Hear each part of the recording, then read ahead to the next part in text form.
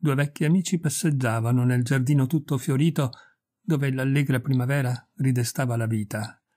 Uno era senatore, l'altro accademico di Francia, gravi entrambi, dediti al piacere di ragionare secondo logica, senza escludere la solennità, persone di gran riguardo e di gran fama. Discorsero dapprima di politica, scambiando pensieri non già sulle idee, ma sugli uomini, su certe personalità, sempre facendo prevalere in questa materia la ragione. Dopo rievocarono alcuni ricordi, poi tacquero, continuando a passeggiare fianco a fianco, inteneriti dal tepore dell'aria. Una grande aiola di violaciocche spandeva aromi dolciastri e delicati. Fiori di mille specie e di mille colori diffondevano i loro odori nel venticello, mentre un albero rivestito di grappoli gialli sparpagliava il suo polverio impalpabile. Un fiume d'oro che sapeva di miele e portava attraverso lo spazio il suo seme odoroso, come una morbida cipria da profumiere. Il senatore si fermò, aspirò la nuvola fecondante che fluttuava, osservò l'albero annoso, splendente come un sole, i cui germi svolazzavano tutti intorno, e disse E pensare che questi impercettibili atomi profumati creeranno la vita a centinaia di chilometri da qui, faranno fremere le fibre e le linfe degli alberi femmina e produrranno esseri vegetali nascenti come noi uomini da un germe, mortali come noi e che saranno sostituiti da altri esseri della stessa specie, sempre al pari di noi. Poi, ponendosi davanti all'albero radioso, i cui profumi vivificanti si sprigionavano ad ogni brivido dell'aria, il senatore aggiunse Albero mio, se tu dovessi fare il conto di tutti i figli che hai, saresti in un bel guaio. Sei uno che ne fa facilmente, li abbandona senza rimorsi e non se ne preoccupa più. L'accademico disse Facciamo così anche noi, amico mio. Eh sì, non lo nego, fece eco il senatore. Qualche volta li abbandoniamo, ma almeno lo sappiamo. La nostra superiorità consiste in questo. L'altro scosse la testa. No, non volevo dire questo. Vedete, caro, non c'è uomo che non abbia qualche figlio ignorato, uno di quelli che si dicono di padre ignoto, fatti questi inconsciamente come fa quest'albero. Se dovessimo fare il conto delle donne che abbiamo posseduto, saremmo imbarazzati come quest'albero a cui vi siete rivolto, se dovesse enumerare tutti i suoi discendenti. Tra i diciotto e i quarant'anni, conteggiando anche gli incontri occasionali, i contatti di un'ora, possiamo dire con buona approssimazione d'aver avuto rapporti intimi con duecento o trecento donne. Ora, amico mio, potete essere certo di non averne fecondata almeno una e di non possedere, in mezzo alla strada o in galera, un mascalzone di figlio che deruba e uccide la gente onesta, ossia noi, oppure una figlia in qualche postribolo, o magari, se ha avuto la fortuna di essere abbandonata dalla madre, cuoca in qualche famiglia, e pensate poi che quasi tutte quelle donne che chiamiamo pubbliche hanno uno o un paio di figli di cui non conoscono il padre, figli piovuti addosso a loro durante gli amplessi, a dieci o a venti franchi. In ogni mestiere si tiene la contabilità dei profitti e delle perdite. Quei rampolli sono le perdite della loro professione. E chi li ha messi al mondo? Voi, io, tutti noi, gli uomini definiti per bene, sono le conseguenze dei nostri allegri pranzi tra amici, delle nostre serate di baldoria, di quelle ore in cui la nostra carne soddisfatta ci spinge ad accoppiamenti occasionali. I ladri, i vagabondi, tutti i miserabili, insomma, sono figli nostri. E per noi questo ha un peso maggiore che se fossimo figli loro, perché anch'essi si riproducono, quei furfanti. Vedete, da parte mia ho sulla coscienza una brutta storia che voglio raccontarvi. Per me è un rimorso continuo, anzi un dubbio continuo, un'implacabile certezza che talvolta mi tortura in modo atroce. A 25 anni avevo intrapreso, insieme a uno dei miei amici, oggi consigliere di Stato, un viaggetto in Bretagna. Dopo 15 o 20 giorni di marce continue, dopo aver visitato le Côte du Nord e una parte della Finisterre, arrivammo a Douarnenez, da qui, in una sola tappa, raggiungemmo la selvaggia punta di Raz, attraverso la baia dei Tre Passé, e dormimmo in un villaggio qualsiasi, col nome che finiva in Ov. Ma quando venne il mattino il mio compagno dovette rimanere a letto. vinto da una strana spossatezza. Dico a letto per abitudine, in quanto il nostro giaciglio era formato semplicemente da due fasci di paglia. Impossibile curarsi in quel posto. Così lo obbligai ad alzarsi e verso le quattro o le cinque del pomeriggio arrivammo ad Odierne. Il giorno successivo stava un po' meglio. Ripartimmo, ma durante la strada fu preso da forti dolori e a stento potemmo raggiungere Pont-l'Abbé. Almeno lì c'era una locanda. Il mio amico si mise a letto e il medico, fatto venire da Quimper, constatò un febbrone, senza diagnosticarne la causa. Conoscete Pont-l'Abbé? Ebbene, è la cittadina più bretone di tutta quella Bretagna bretanneggiante che va dalla punta d'Uraz al Morbihan, della regione in cui si riscontra la vera essenza delle costumanze, delle leggende, delle usanze dei bretoni. Anche oggi quella contrada non è affatto mutata. Dico anche oggi perché ora purtroppo ci vado tutti gli anni. Un vecchio castello tuffa la parte inferiore delle sue torri in un grande stagno triste triste, e intorno c'è qualche volo di uccelli selvatici. Esce di lì un corso d'acqua che le barche di piccolo capotaggio risalgono sino alla città. E nelle strade strette, dalle case antiche, gli uomini portano un largo cappello, il panciotto ricamato e le quattro giubbe sovrapposte. La prima, larga un palmo, copre appena le scapole. L'ultima si ferma giusto dove comincia il fondo dei calzoni. Le ragazze, alte, belle, fresche, hanno il petto compresso in un bustino di panno che forma una corazza, la quale non lascia neanche indovinare il seno possente e martoriato. Hanno il capo acconciato in modo curioso. Sulle tempie due strisce ricamate a vari colori incorniciano il viso, stringono i capelli che cadono morbidi dietro la testa, poi risalgono ad ammassarsi al centro del capo in una cuffia singolare, spesso intessuta d'oro o d'argento. La domestica del nostro albergo avrà avuto al massimo diciotto anni, due occhi azzurri, un azzurro pallido bucato dai due puntini neri delle pupille, e i denti corti, molto uniti tra loro, che ella mostrava in continuazione quando rideva. Sembravano fatti per maciullare il granito. Non aveva una parola di francese, parlava soltanto il bretone, come la maggior parte dei suoi compatrioti.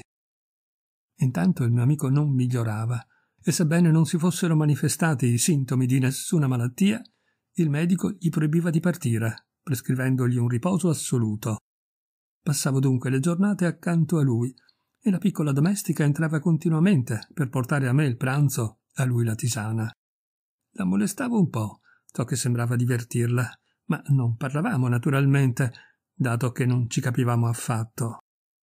Ebbene, una notte, poiché ero rimasto fino a tarda ora presso l'infermo, tornando nella mia camera incrociai la ragazza che andava nella sua. Era proprio davanti alla mia porta aperta.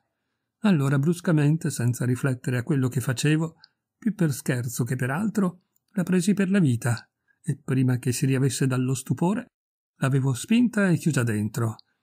Mi guardava smarrita, angosciata, spaventata, non osando gridare per paura d'uno scandalo.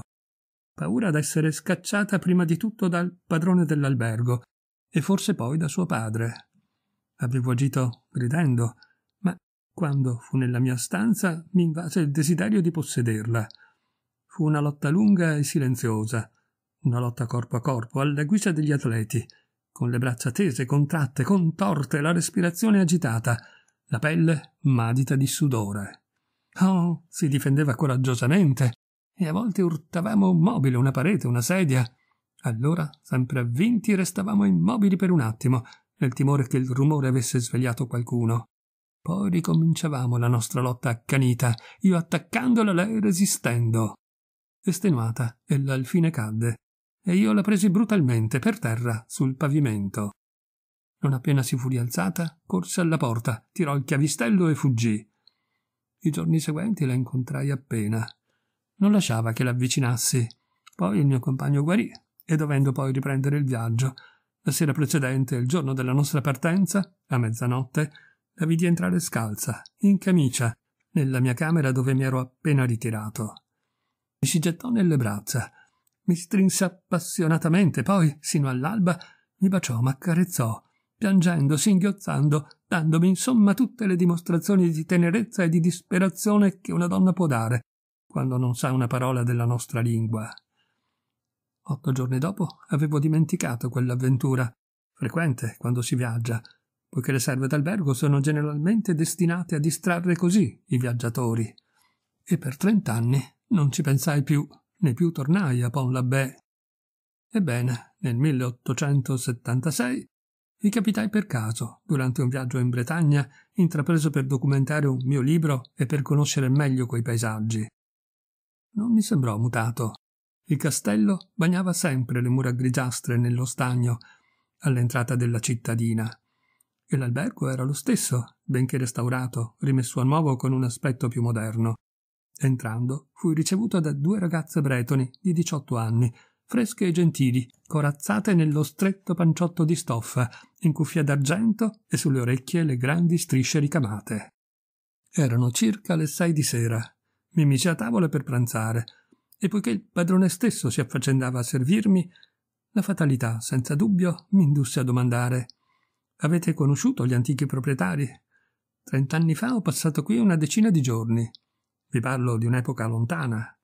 E gli rispose Erano i miei genitori, signore. Allora gli raccontai in quale occasione mi fossi fermato e come ero stato trattenuto dall'indisposizione del mio compagno. Non mi lasciò terminare. Oh, me ne ricordo perfettamente. Allora avevo quindici o sedici anni voi dormivate nella stanza in fondo e il vostro amico in quella che adesso è la mia, che dà sulla strada. Soltanto allora mi si riaffacciò vivissimo il ricordo della camerierina. Domandai: Ricordate una gentile servetta che era allora con vostro padre e che, se ben ricordo, aveva dei begli occhi e dei bei denti? Rispose: Certo, signore. È morta di parto non molto dopo e tendendo la mano verso il cortile dove un uomo magro e zoppo spazzava il letame, soggiunse Quello è suo figlio. Mi mise a ridere. Non è bello e non somiglia affatto a sua madre. Ha preso senza dubbio dal padre. L'albergatore riprese. Può darsi, ma non si è mai saputo chi fosse. È morta senza dirlo. E qui nessuno sapeva che avesse un amante. È stata una vera sorpresa quando si seppe che era incinta. Nessuno voleva crederlo. Ebbi una specie di brivido sgradevole, una di quelle sensazioni penose che sfiorano il cuore come l'avvicinarsi di una grave sciagura, e tornai a guardare l'uomo del cortile. Ora andava ad attingere acqua per i cavalli e portava i due secchi zoppicando, con uno sforzo doloroso della gamba più corta. Era stracciato, schifosamente sporco, con lunghi capelli gialli così arruffati che gli pendevano sulle guance come corde. L'albergatore soggiunse Non vale molto, e l'abbiamo tenuto nell'albergo per carità. Forse sarebbe stato diverso se l'avessero educato come tutti gli altri. Ma che volete, signore? Senza padre, senza madre, senza mezzi. I miei genitori hanno avuto pietà del bambino, ma capirete, non era il loro. Io non dissi nulla e dormii nella mia antica stanza e tutta la notte pensai a quell'orribile mozzo di stalla, ripetendo a me stesso Eppure, se fosse mio figlio, avrei dunque ucciso la ragazza e procreato quest'essere. Dopotutto, era possibile. Risolsi di parlare a quell'uomo e di conoscere esattamente la data della sua nascita. Una differenza di due mesi avrebbe potuto dissipare i miei dubbi. Il giorno dopo lo feci chiamare nella mia camera ma nemmeno lui parlava francese. D'altronde sembrava non capisse nulla e ignorava assolutamente la propria età, che una delle serve gli domandava per mio conto. Stava di fronte a me con un'aria idiota, rigirando il cappello con una delle sue zampe nodose e nauseanti, ridendo stupidamente, con qualche cosa dell'antico riso materno nell'angolo delle labbra e nell'angolo degli occhi. Ma il proprietario, sopravvenuto, andò a cercare l'atto di nascita del poveretto. Questi era venuto alla luce otto mesi e venti giorni dopo il mio passaggio a Pont l'Abbé, poiché mi ricordavo perfettamente d'essere arrivato a Lorient il 15 agosto. L'atto portava la dicitura padre ignoto. La madre s'era chiamata Jean Kerradec. Allora il mio cuore si mise a battere a precipizio. Non potevo più parlare, tanto mi sentivo soffocato, e guardavo quel bruto, i cui lunghi capelli gialli sembravano un letame più sordido di quello delle bestie. E il miserabile, intimidito dal mio sguardo, non rideva più, voltava la testa, cercava d'andarsene. Errai tutto il giorno in riva al piccolo corso d'acqua, riflettendo dolorosamente. Ma a che serviva riflettere? Nulla poteva rassicurarmi. Per ore ed ore pesai tutte le ragioni buone o cattive, pro e contro la mia probabile paternità, estenuandomi in supposizioni inestricabili per tornare incessantemente alla stessa orribile incertezza, poi alla convinzione ancora più atroce che quell'uomo era mio figlio. Non potei pranzare e mi ritirai nella mia stanza. Per un pezzo non riuscii a dormire. Poi il mio sonno fu pieno di visioni insopportabili. Vedevo quel sozzo cafone che mi rideva in faccia, mi chiamava papà, poi si mutava in cane e mi mordeva i polpacci. E per quanto scappassi mi seguiva sempre, e invece d'abbaiare parlava, mi ingiuriava. Poi comparve davanti ai miei colleghi dell'accademia, riuniti per decidere se io fossi veramente suo padre. E uno d'essi esclamava È indubitabile, ma guardate come gli somiglia. E infatti m'accorgevo che quel mostro mi somigliava e mi svegliai con quel pensiero piantato nel cranio e col folle desiderio di rivedere l'uomo per decidere se avessimo qualche lineamento comune oppure no. Lo raggiunsi mentre andava a messa, era una domenica, e gli regalai cinque franchi, scrutandolo ansiosamente. Si rimise a ridere in una maniera ignobile. Prese il denaro, poi, nuovamente imbarazzato dal mio sguardo, scappò dopo aver farfugliato una parola quasi inarticolata che indubbiamente voleva dire grazie. La giornata trascorse per me nella stessa angoscia della vigilia. Verso sera feci chiamare l'albergatore e con molte precauzioni, abilità e astuzie gli dissi che mi interessavo a quel povero essere così abbandonato da tutti e privo di tutti, e che volevo fare qualcosa per lui. Ma l'uomo replicò Oh signore, non ci pensate. Quel disgraziato non vale nulla, e ne avreste soltanto delle noie. Io lo utilizzo per pulire la scuderia ed è tutto quanto può fare. Per questo gli do da mangiare e lo lascio dormire coi cavalli. Non gli occorre altro. Se avete un vecchio paio di calzoni, regalateglielo, ma fra otto giorni sarà a brandelli.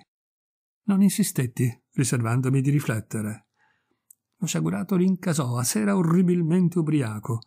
Per poco non incendiò la casa prese a zappate il cavallo e finalmente s'addormentò nel fango sotto la pioggia, grazie alle mie elargizioni. Il giorno dopo mi pregarono di non dargli più denaro.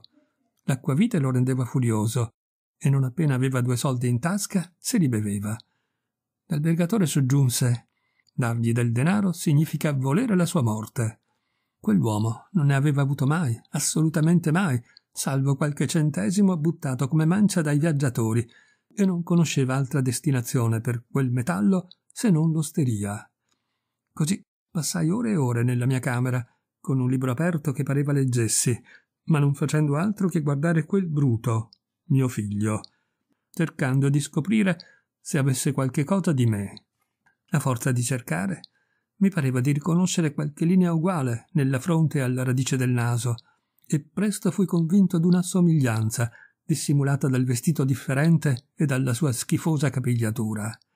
Ma non potevo trattenermi più a lungo senza destare sospetto e partii col cuore spezzato, dopo aver lasciato all'albergatore un po' di denaro per alleviare l'esistenza del suo garzone. Ora, da sei anni, vivo con questo pensiero, con questa orrenda incertezza, con questo dubbio spaventoso.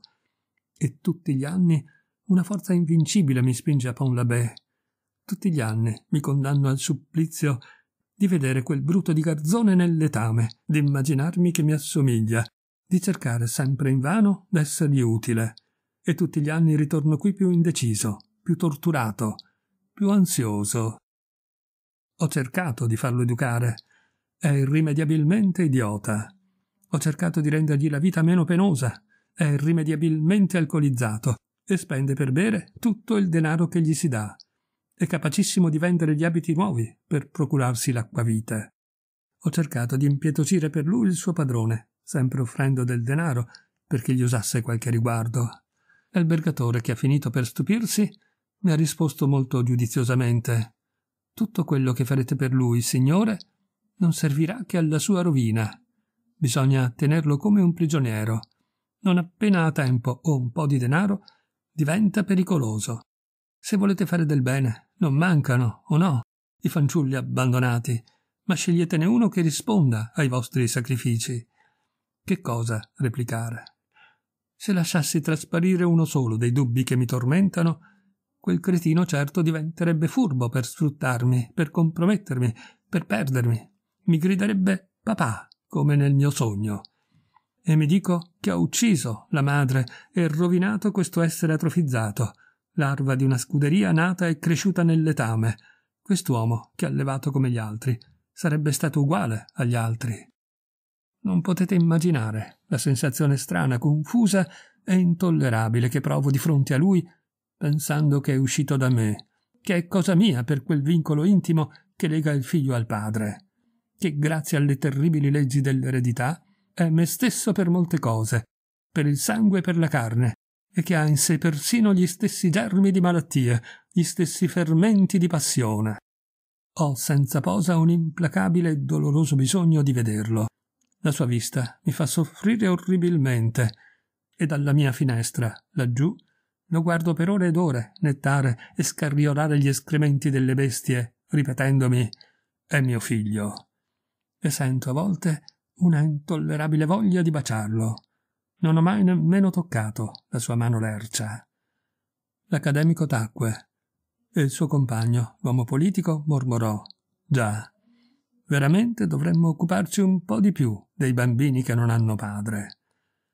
Una folata di vento, attraversando il grande albero giallo, ne scosse i grappoli, avvolse d'una nuvola odorosa e fine i due vecchi, che la respirarono a pieni polmoni. E il senatore soggiunse è bello davvero avere venticinque anni e persino fare dei figli così.